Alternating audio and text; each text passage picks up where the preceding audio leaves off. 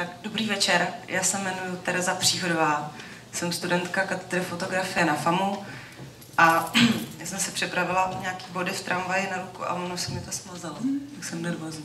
Tak uh, uh, fotografuju krajinu, to všichni uvidíte.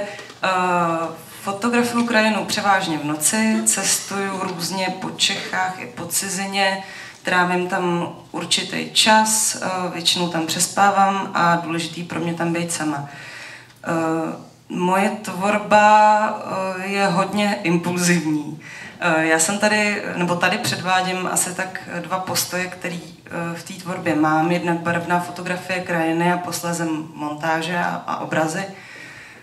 Fotografuju na klasický materiál, abych měla nějaký limit cesty. Vždycky, když mi dojde film, ten materiál, tak tu cestu ukončím. A mm, to jsem přesně čekala, že se stane. Um, na těch cestách různě potkávám jak zvířata, lidi moc ne.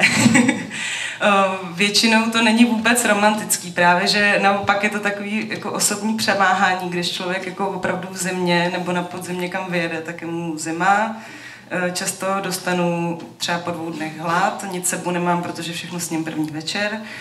A občas se stane to, že vznikají i takovýhle jako světlý, světlý momenty, třeba při svítání nebo podobně. Um, k té neromantice za chvilku přijde fotka, kdy, uh, kterou koupil ještě předtím, než jsem ji vystavila, um, náš soused, který si za vilou Jakuba Demla v Tasově, to je ona, udělal hnojník tak tohle to je ten hnojník a já jsem ho vyfotila, protože mě ten objekt fascinuje, pořád se mění.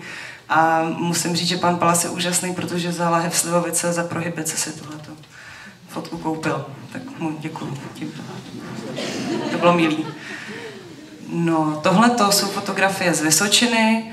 Eh, většinou jsem inspirovaná literaturou, eh, i když eh, to není primární věc, která by mě vedla k tomu fotografovat v té krajině, tak vždycky to má nějaký posun, nebo mě to nějakým způsobem vede dál, nebo mě to určuje, jak ty místa mám vnímat. Eh, většina těch fotografií, které tady vidíte, byla vystavená v ateliéru Josefa Sudka eh, pod názvem, ta výstava byla pod názvem Lekce samoty.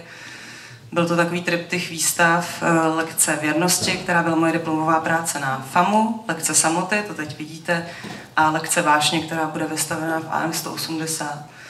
Uh, Tohle to je fotografie z Šumavy,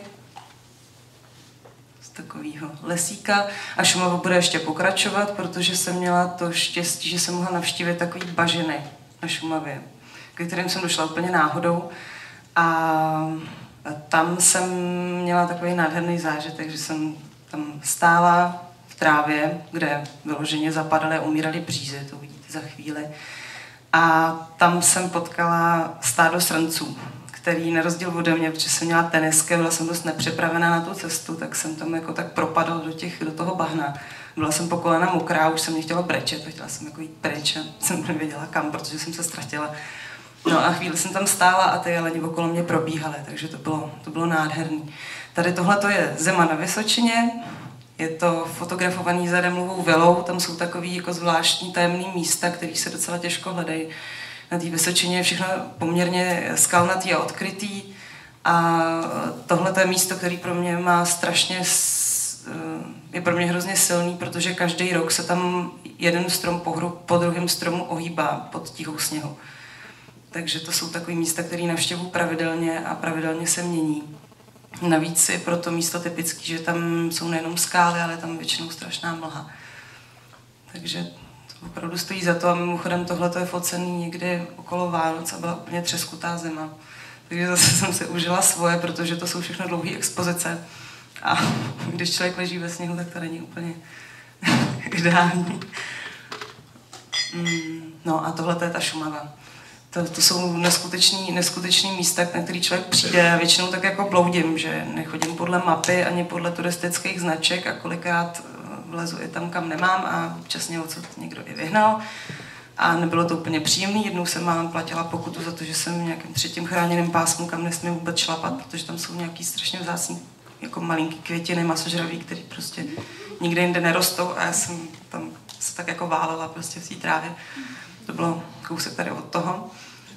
No a tady tohle to jsou pro mě takový jako pohřebiště stromů. Já mám strašně, jsem fascinovaná klackama.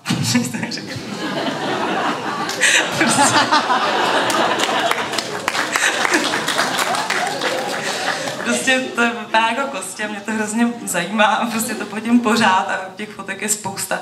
A vůbec v celé v celý té své tvorbě dělám animace, snažím se propojovat fotografii a grafiku, to vidíte tady uh, nějakým způsobem fotografii a malbu. A uh, je to většinou velká selekce, když přepravuju nějakou výstavu, tak je to tak je to většinou strašný práce s tím, že moje kamarádi mě musí pomáhat vybírat ty věci, protože mám spoustu materiálu, ve kterých, kterých mám strašný bordel, úplně neskutečný a ty lidi za mnou musí přijít a teď jako mě podpořit v tom, abych se v tom začala nějakým způsobem jako vrtat a něco z toho vytáhla. Tohle to jsou věci, které dělám pinzetou, jsou to takový malinký malby, který potom zvětšuju na velký formáty, je to eh, kombinace negativů, eh, v obrázku na diácích z pohádek, teďka tahle ta věc konkrétně, a různých dalších rybiček na chytání ryb a takových jako věcí, které na sebe lepím a vrstvím a pak z toho vznikají věci, které prostě, vytvoruju těm archiv, protože jak mám těch fotek hodně, tak kolikrát už jako dostanu amok, že toho moc a, a měním to a to je proč to dělám. a to je všechno a vám děkuju. Naschledanou.